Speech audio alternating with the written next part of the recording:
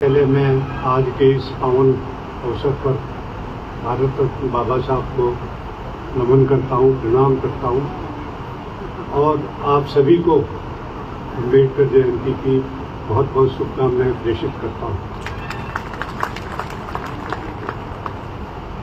बाबा साहब के जीवन यात्रा को पढ़े उनके जीवन दर्शन को पढ़े अधिकांश आप लोगों ने भी पढ़ा होगा, हमने भी पढ़ा है।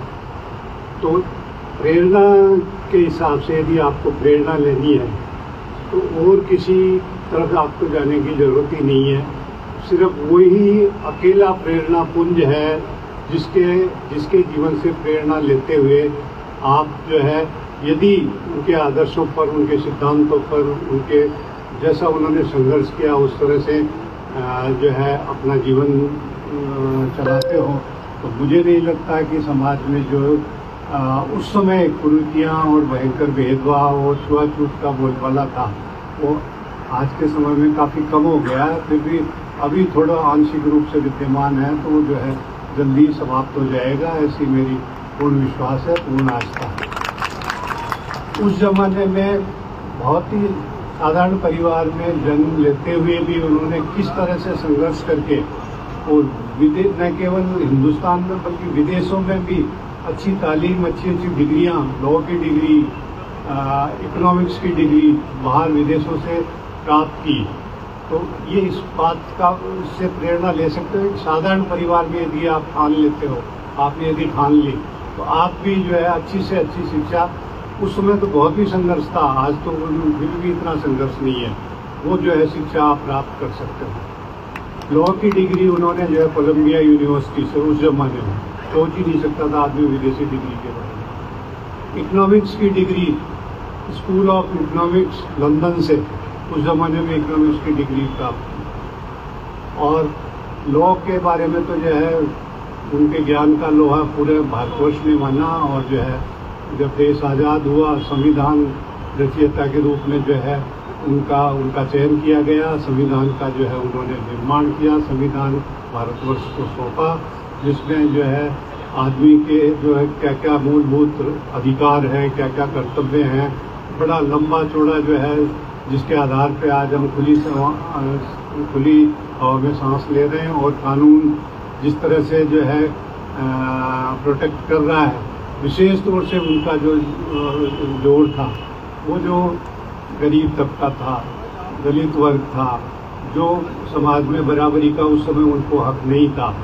इसके लिए कई प्रावधान संविधान में जो है जोड़े आरक्षण भी उनमें से एक था जिसकी बदौलत जो है उनकी सोच यही थी कि जो है समान समाज में समानता होनी चाहिए समाज एक रूपता होनी चाहिए और सबको बराबर के अधिकार होने चाहिए। तो उस समय चुनाव हुए तो उनको सबसे पहले स्वतंत्र भारत का आ, कानून और न्याय मंत्री बनाया गया। उनकी जो है ये योग्यता का उनके उनकी उनकी विद्वता का ही ये परिचय है। कानून और न्याय ऐसी, ऐसा विभाग है जिसको बहुत जटिलताएँ होती है और जिसको समझने के लिए बहुत बुद्धिमत्ता चाहिए, बहुत ही जो है तर्क तर्क शक्ति चाहिए उसमें। विधिवेता के बाद मैं उनके अर्थशास्त्री होने का ज़िक्र आपके सामने ज़रूर करना चाहूँगा। क्योंकि अर्थशास्त्र के रूप में उनको कम जाना जाता है विधिवेत्ता के रूप में ज़्यादा जाना जाता। है अर्थशास्त्र की डिग्री उन्होंने उस समय स्कूल ऑफ़ इकोनॉमिक्स लंदन से प्राप्त की थी। और आपको ये जानकर हर्ष होगा कि जो अमर्त्य सेन है हमारे भारत मूल वंश के, जिनको अर्थशास्त्र का नोबेल प्राइज मिला, अर्थशास्त्र में नोबेल प्राइज मिला और उन्होंने नोबेल प्राइज के बाद में कई बार उनके कई जगह इंटरव्यू हुए तो उसमें उन्होंने साफ़ स्वीकार किया कि मैंने जिस जिस जिस सिद्धांत पे अर्थशास्त्र का मुझे नोबेल प्राइज मिला है, मेरा वो सिद्धांत बाबा साहब अंडे अंबेडकर से डिराइव किया है अंबेडकर साहब के दर्शन पर आधारित है। और जिस सिद्धांत पर उनको जो है नोबेल प्राइज मिला था, वो था गरीब, दलित और बहुत समाज का जो पिछड़ा वर्ग है, जो आर्थिक असमानता है, उसका आर्थिक उत्थान कैसे हो? छोटे छोटे गाँवों में कैसे मिनी बैंकों की स्थापना हो? कैसे स्वयं सहायता समूह बन के उनकी जो है आर्थिक संबल प्रदान किया जाए, ताकि वो मुख्य धारा में जो है आ सके और आर्थिक रूप से समानता का समानता का स्थान प्राप्त कर सके? ये आर्थिक विषमता उस समय भी है, आज भी है, उस समय ज़्यादा थी, आज थोड़ी कम हुई है। फिर भी देश की जो है, नब्बे प्रतिशत आर्थिक परिसंपत्तियों पर दस प्रतिशत लोगों का कब्जा है और नब्बे प्रतिशत लोगों के पास सिर्फ़ दस प्रतिशत आर्थिक परिसंपत्तियाँ हैं। ये आर्थिक विभिन्नता आज भी मौजूद है, उस समय भी बहुत ज़्यादा थी।